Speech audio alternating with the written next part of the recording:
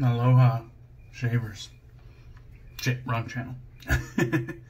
Moon Soaps Week continues with Sorrento. This is their original tallow formula.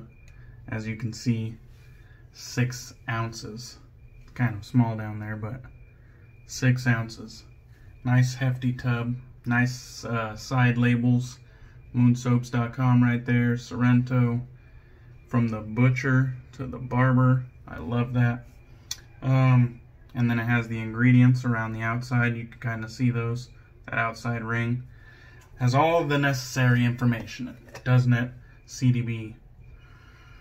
So this one is a beautiful citrus forward aquatic. Um, it, that easily sums it up. I've already done a review of Sorrento, but that's the quick and dirty version. It's already uh, pretty late, if you can see over there. So, I figured I'd just get in a quick one. This right here is um, Eagle Rare. I saw John from Latherhog talk about it multiple times, so I figured I'd give it a shot. I'm a noob, real noob when it comes to uh, uh, whiskeys, bourbons, any liquors. I stopped.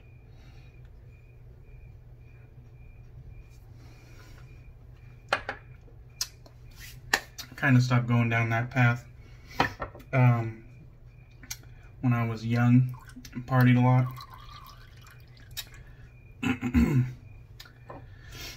I uh, kind of steered away from liquors and started getting more into the beers. But now I'm kind of, I'm attempting to work my way back into the liquors with bourbons and whiskeys and um, rums. For starters pretty much anything's on the table, but that's where I'm that's where I'm dipping my toes into into it. So I've definitely had some stuff that I like so far. And this Eagle Rare is good. I think where I picked it up, it was like $33 before tax, but it did say sale on the tag, so who knows. It's starting to uh, starting to paste up. I guess I should have showed you. I'm using my uh, my Turn N Shave custom here. This one has the uh, emerald top and emerald running through the middle with gold flakes surrounding it. Just a real beautiful brush. And this one has the V4 hype knot, I mean tip knot, the 28 millimeter. It is extremely soft. And there's a hair, it looks like. Just yank that out of there. Um, yeah. This, um, when I, when I was buying this, the V4 tip knot was getting a ton of praise. And it's a good knot, um, don't get me wrong. But I feel like it has its quirks that need to be learned. And, um, and then you can, you know, yield the best results with it.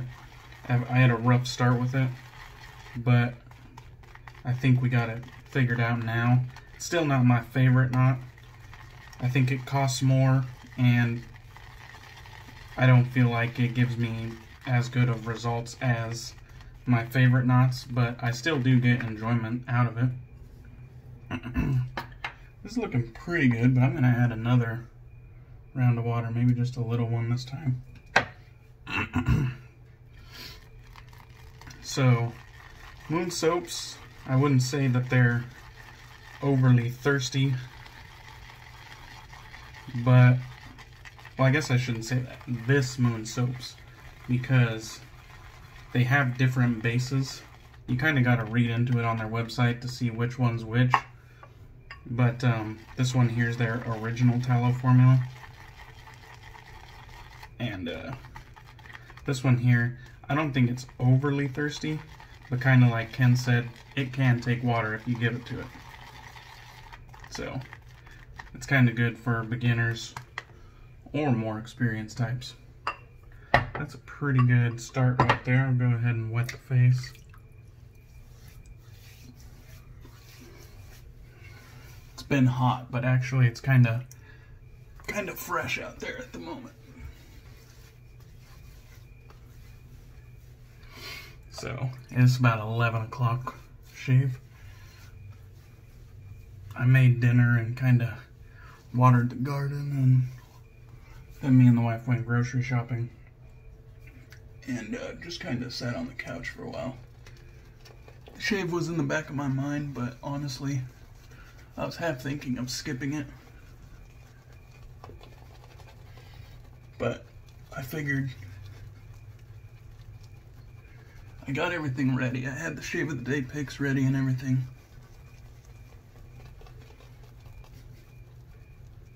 All I needed to do was bust it out, so. These knot, or this uh, knot, the tips are super duper soft. And when people talk about jelly, like, the tips on this one are like the definition of jelly, where they almost have a unique face feel because of it, because of how jelly they are.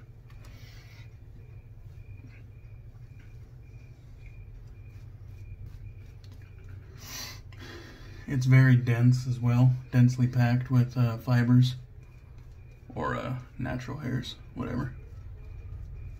It's um.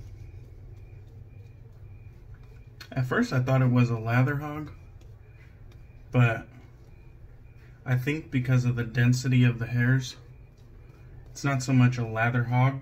You just need to load it heavy. Um, because I, I don't think it's eating the lather. I just think because of the density of the hairs, you need a lot of product. So I load heavy. Gonna be using the 14 karat gold Eversharp Schick Injector, the same one that's on the picture in the back. Love this thing. It's in good condition.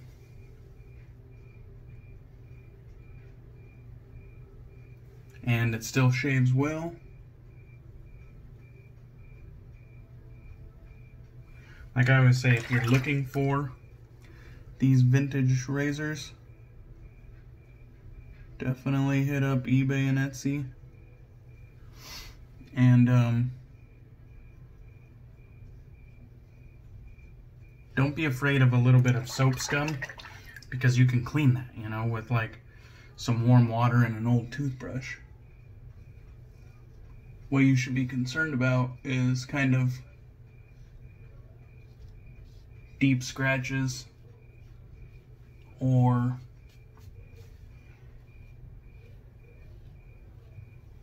repairs that are kind of outside of your ability to repair, you know what I mean? But a little a little scrub and a little polish is, you know, a pretty easy feat. So don't don't let a little a little uh,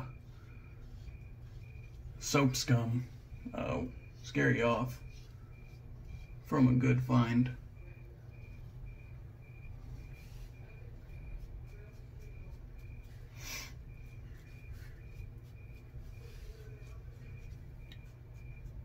One of my viewers was um, asking what I thought about moon soaps compared to other elite bases. And I don't really dive down that rabbit hole often.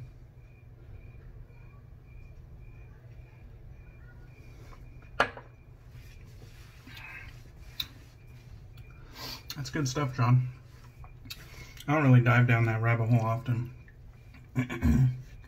Because I'm kind of of the opinion pretty much everything gets the job done. And nowadays, almost everything has some level of luxury to it. But um, I would say Moon Soaps is definitely, definitely running with the pack. Um, above average. I can't, in all honesty, say I think it's the best I've ever tried, but it is luxurious and um, it's definitely up there. You know what I mean? With the elites, it's up there. Now they have different soap bases, like I said, and they all have their own you know, unique feelings to them. But I think each base kind of achieves that status individually that they are um, high quality. I wouldn't hesitate picking up any one of their soap bases.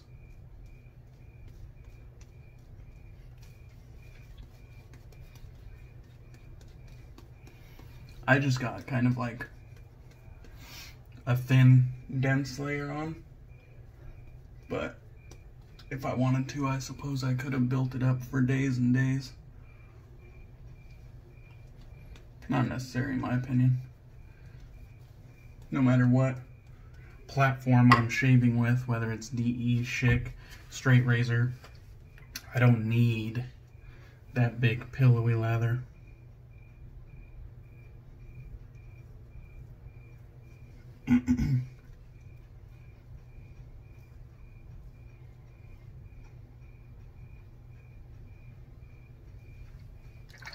kind of nice with the cricket in the background. I don't know about y'all, but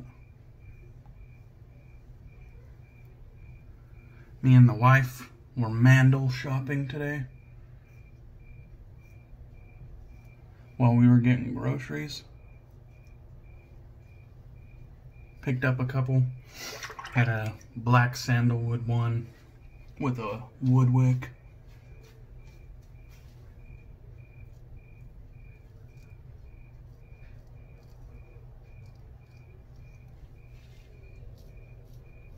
that we both agreed was very nice.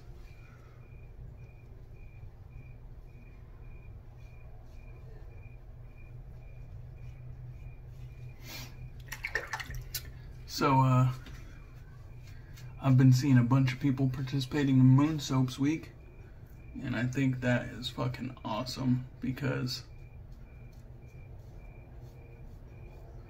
Moon Soaps I felt like was relatively um, flying under the radar there for a while. Even to me. And um, it's funny because I kind of bought their line, their whole fucking line, in a relatively quick um, fashion. I bought the first two, loved them. Then around the next time Sorrento came out, I picked up a few more, loved them.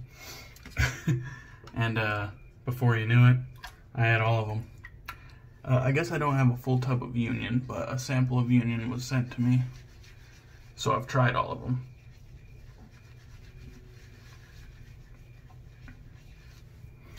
But they are fantastic. and they're getting more play than most things right now in my den. Moon Soaps is getting a lot of play compared to other other brands right now. Not just because they're kind of popular, but because I'm really enjoying them. I could easily recommend every scent, you know what I mean, and have no no worries about my decision to recommend them to people. I think they're fantastic.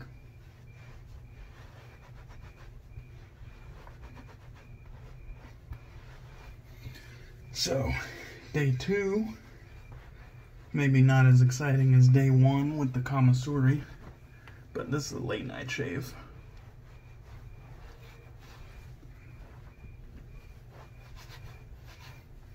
I'll be going to bed pretty much right after this.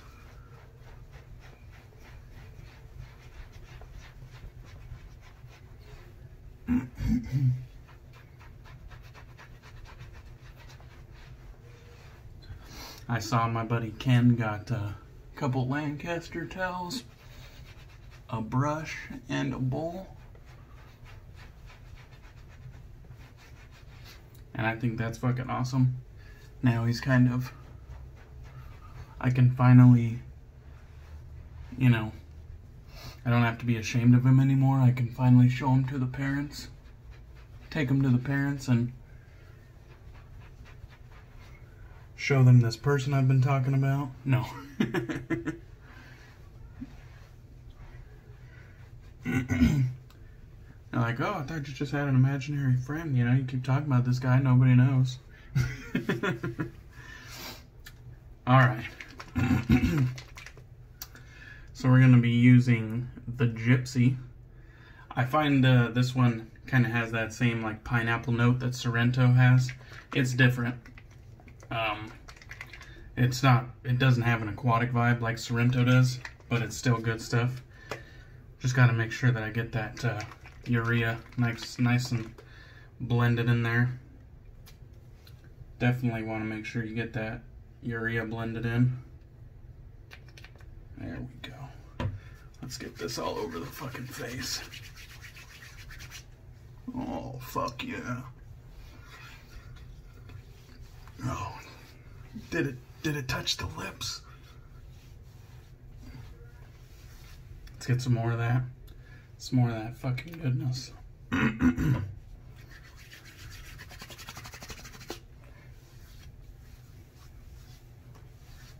oh, yeah.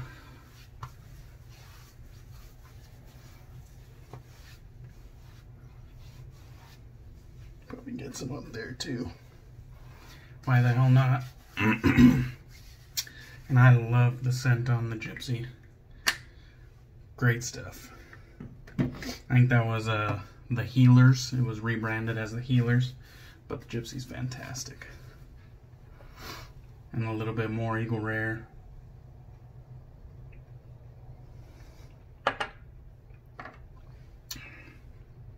So a little recap. Moon Soaps Sorrento. Awesome scent. I think this one is a crowd pleaser. Citrus Aquatic. I don't think most people would have any problems with that.